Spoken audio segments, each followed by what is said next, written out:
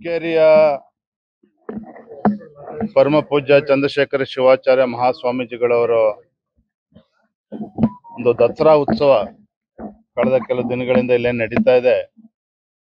ಮೊನ್ನೆ ಹದಿನೆಂಟನೇ ತಾರೀಕು ನಾನು ಕೂಡ ಆ ಕಾರ್ಯಕ್ರಮದಲ್ಲಿ ಭಾಗವಹಿಸಬೇಕಾಗಿತ್ತು. ಅದರ ಕಾರಣಾಂತರಗಳಿಂದ ನಂಗೆ ಬರೋದಕ್ಕೆ ಸಾಧ್ಯ ಆಗಿರಲಿಲ್ಲ.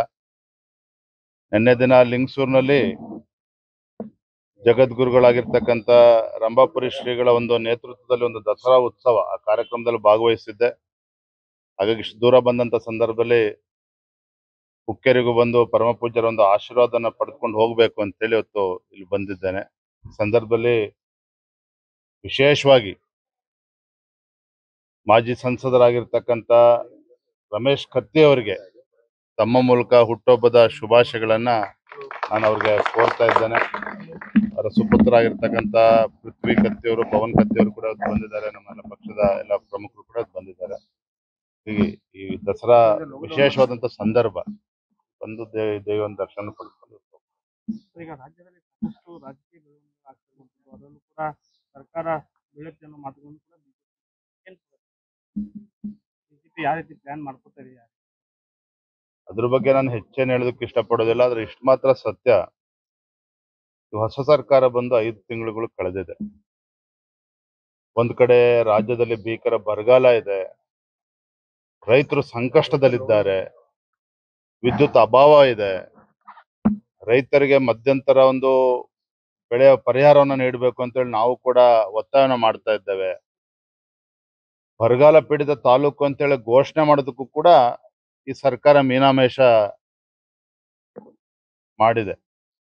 ಇದ್ರ ಮಧ್ಯೆ ಮಂತ್ರಿಗಳಿಗೆ ಹೊಸ ಕಾರ್ಗಳನ್ನ ಕೊಡ್ತಕ್ಕಂಥದ್ದು ಎಲ್ಲ ಒಂದ್ ಕಡೆ. ಟೀಕೆ ಅನ್ನೋದಕ್ಕಿಂತ ಹೆಚ್ಚಾಗಿ ಸರ್ಕಾರದ ಆದ್ಯತೆ ಏನು ಅನ್ನೋದು ಇವತ್ತು ರಾಜ್ಯದ ಜನ ಪ್ರಶ್ನೆ ಮಾಡ್ತಾ ಇದ್ದಾರೆ. ರಾಜ್ಯದ ಜನ ಇದನ್ನ ಪ್ರಶ್ನೆ ಮಾಡ್ತಾ ಇದ್ದಾರೆ. ಮತ್ತೊಂದು ಕಡೆ ಮಂತ್ರಿಗಳ ಮಧ್ಯೆ, ಶಾಸಕರ ಮಧ್ಯೆ ವ್ಯತ್ಯಾಸಗಳು. ಇವತ್ತು ಸರ್ಕಾರ ಬಂದ ಇಷ್ಟು ತಿಂಗಳುಗಳಾದ್ರೂ ಕೂಡ ಇವತ್ತುವರೆಗೂ ಒಂದು ರೂಪಾಯಿ ಅನುದಾನವನ್ನ ಅಭಿವೃದ್ಧಿಗೋಸ್ಕರ ಒಂದು ರೂಪಾಯಿ ಅನುದಾನನೂ ಕೂಡ ಯಾವುದೇ ಶಾಸಕರಿಗೆ ಕೊಟ್ಟಿಲ್ಲ. ಎಲ್ಲೋ ಒಂದ್ ಕಡೆ ಎಲ್ಲಾ ಕ್ಷೇತ್ರದಲ್ಲೂ ಕೂಡ ಸರ್ಕಾರ ವಿಫಲ ಆಗಿರ್ತಕ್ಕಂಥದ್ದು ಮೇಲ್ನೋಟಕ್ಕೆ ಗೊತ್ತಾಗ್ತದೆ. ಹಾಗಾಗಿ ಸಹಜವಾಗೇನೆ ಆಡಳಿತ ಪಕ್ಷದ ಶಾಸಕರಲ್ಲಿ ಅಸಮಾಧಾನ ಎದ್ದು ಕಾಣ್ತಾ ಇದೆ. ಜಿಲ್ಲಾಧ್ಯಕ್ಷರು ಕೂಡ ಬರ್ಲಿಲ್ಲ. ಜಿಲ್ಲಾಧ್ಯಕ್ಷರು ಕೂಡ ಬರ್ಲಿಲ್ಲ. ಬಿಜೆಪಿ ಹೇಗೆ ಏನ್ ಹೇಳಿದ್ರೆ ಆಗ್ಲೇ ಹೇಳದ್ನಲ್ಲ ಇವತ್ತು ಆಡಳಿತದ ವೈಖರಿ ಹೇಗಿದೆ ಅಂತ ಹೇಳಿದ್ರೆ ಆ ಪಕ್ಷದ ಶಾಸಕರಲ್ಲಿ ಆಡಳಿತ ಪಕ್ಷದ ಶಾಸಕರಲ್ಲೇನೆ ಅಸಮಾಧಾನ ಭುಗಿಲೆದ್ದು ಹೇಳ್ತಾ ಇರ್ತಕ್ಕಂಥದ್ದು ನೋಡ್ತಾ ಇದ್ದೇವೆ. ಯಾವತ್ತು ಏನಾಗ್ತದೋ ಹೇಳೋದಕ್ಕೆ ಸಾಧ್ಯ ಇಲ್ಲ.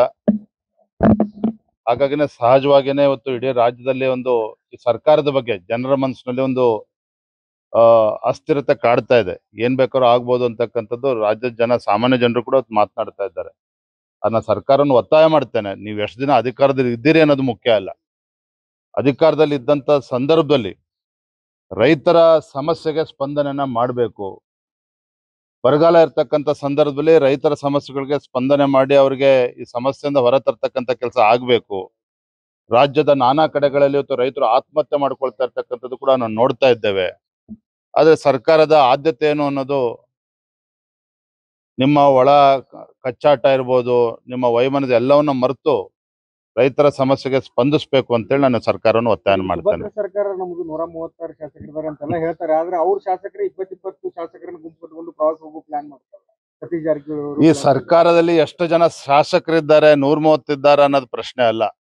ಆದ್ರೆ ಅವರ ಮಾನಸಿಕ ಸ್ಥಿತಿ ಏನಿದೆ ಶಾಸಕರ ಮನಸ್ಥಿತಿ ಏನಿದೆ ಅಂತಕ್ಕಂಥದ್ದು ಅದು ಮುಖ್ಯ. ಅವರ ಪಕ್ಷದಲ್ಲಿ ಶಾಸಕರ ಸ ಅಸಮಾಧಾನ ಇದ್ರ ಬಗ್ಗೆ ನಾನು ಹೆಚ್ಚನ್ನು ಹೇಳೋದಕ್ಕೆ ಹೋಗೋದಿಲ್ಲ. ಅವರ ಹಣೆ ಬರ ಅದು. ಇವತ್ತು ನೂರ ಮೂವತ್ತಾರು ಶಾಸಕರ ಇರ್ತಕ್ಕಂಥ ಆಡಳಿತ ಪಕ್ಷ ಯಾವ ರೀತಿ ಆಡ, ಆಡಳಿತ ನಡೆಸಬೇಕು, ಯಾಕಂದ್ರೆ ಜನರಿಗೆ ಸಾಕಷ್ಟು ನಿರೀಕ್ಷೆಯನ್ನ ಹುಟ್ಟಾಕಿರ್ತಕ್ಕಂಥವ್ರು ನೀವುಗಳೇನೆ ಚುನಾವಣೆ ಸಂದರ್ಭದಲ್ಲಿ ಸಾಕಷ್ಟು ಭರವಸೆಗಳನ್ನ ಕೊಟ್ಟು, ಇವತ್ತು ಏನಾಗಿದೆ ಪರಿಸ್ಥಿತಿ? ಇನ್ನೂರು ಯೂನಿಟ್ ನಾವು ಪುಕ್ಕಟ ವಿದ್ಯುತ್ ಕೊಡ್ತೀವಿ ಅಂತ ಹೇಳಿ ಮತ್ತೊಂದು ಕಡೆ ರೈತರು ರಸ್ತೆಗೆ ಬಂದಿಲ್ವಾ ಹಾಗಾದ್ರೆ ರೈತರಿಗೆ ಯಾವ ರೀತಿ ನೀವು ಪರಿಹಾರ ನೀಡ್ತಾ ಇದ್ದೀರಿ? ಬಿಜೆಪಿ ಸರ್ಕಾರ ಇದ್ದಾಗ ಯಡಿಯೂರಪ್ಪನವ್ರು ಮುಖ್ಯಮಂತ್ರಿ ಇದ್ದಾಗ ಆ ಪಕ್ಕದ ಛತ್ತೀಸ್ಗಢದಿಂದ ವಿದ್ಯುತ್ ಖರೀದಿ ಮಾಡಿ ರೈತರಿಗೆ ಏಳೆಂಟು ತಾಸು ವಿದ್ಯುತ್ ಅನ್ನ ಕೊಡ್ತಾ ಇದ್ರು. ಆದ್ರೆ ಇವತ್ತಿಗೆ ಎರಡ್ ಮೂರ್ ತಾಸು ಕೂಡ ವಿದ್ಯುತ್ ಕೊಡ್ತಾ ಇಲ್ಲ. ದಿನನಿತ್ಯ ಹೇಳಿಕೆಗಳು ನೋಡ್ತಾ ಇದ್ದೇವೆ. ಮಂತ್ರಿಗಳು ಹೇಳ್ತಾರೆ ನಾವು ರಾಜ್ಯದ ವಿದ್ಯುತ್ ಖರೀದಿ ಮಾಡಿ ಏಳೆಂಟು ತಾಸು ವಿದ್ಯುತ್ ಕೊಡ್ತೇವೆ ಅಂತೇಳಿ ಮುಖ್ಯಮಂತ್ರಿಗಳು ಕೂಡ ಹೇಳ್ತಾ ಇದ್ದಾರೆ. ಅದ್ರ ಕೊಡ್ತಾ ಇದ್ದಾರೆ ಇವತ್ತಿಗೆ. ಯಾವಾಗ ಕೊಡ್ತೀರಿ? ಇನ್ನು ಎಷ್ಟು ಜನ ರೈತರು ಆತ್ಮಹತ್ಯೆ ಮಾಡ್ಕೋಬೇಕು ರಾಜ್ಯದಲ್ಲಿ ಹಾಗಾದ್ರೆ? ಕಾಂಗ್ರೆಸ್ ಶಾಸಕರು ಹೇಳ್ತಾರೆ, ರಾಜು ತಾಗಿಯವರು ಅವರು. ನಮ್ಗೆ ಅನುದಾನ ಬರುತ್ತೆ ನಾನೇ ರಾಜಕೀಯ ನಿವೃತ್ತಿ ಹೋಗ್ಬೇಕು ಅಂತ ಇದೀನಿ ಆ ಪರಿಸ್ಥಿತಿ ಬಂದಿದೆ. ನಾವು ವಿರೋಧ ಪಕ್ಷದವರಂತೂ ಈ ಸರ್ಕಾರದಿಂದ ಏನೇ ಅನುದಾನ ಮತ್ತೊಂದು ನಿರೀಕ್ಷೆ ಮಾಡೋ ಸ್ಥಿತಿಲಿ ನಾವಿಲ್ಲ ಆದ್ರೆ ಆಡಳಿತ ಪಕ್ಷದ ಸದಸ್ಯರ ಪರಿಸ್ಥಿತಿ ಈಗ ಆದ್ರೆ, ಇನ್ನ ವಿರೋಧ ಪಕ್ಷದ ಶಾಸಕರ ಪರಿಸ್ಥಿತಿ ಏನಾಗ್ತದೆ? ನಾವು ಜನಪ್ರತಿನಿಧಿಗಳು, ಜನರು ಅಪೇಕ್ಷೆ ಪಡ್ತಾರೆ. ಶಾಸಕರು ಅವರವರ ಕ್ಷೇತ್ರಗಳಲ್ಲಿ ರಸ್ತೆ ಅಭಿವೃದ್ಧಿ ಕೆಲಸಗಳು ಆಗ್ಬೇಕು, ಶಾಲಾ ಕಾಲೇಜುಗಳು ಆಗ್ಬೇಕು, ಆಸ್ಪತ್ರೆಗಳು ಬರಬೇಕು. ಅಪೇಕ್ಷೆ ಇದೆ ನಿರೀಕ್ಷೆ ಇದೆ ಸಾಕಷ್ಟು. ಆ ನಿರೀಕ್ಷೆಯನ್ನ ಹುಸಿಗೊಳಿಸ್ತಕ್ಕಂಥ ಕೆಲಸ ಈ ಸರ್ಕಾರ ಮಾಡ್ತಾ ಇದೆ.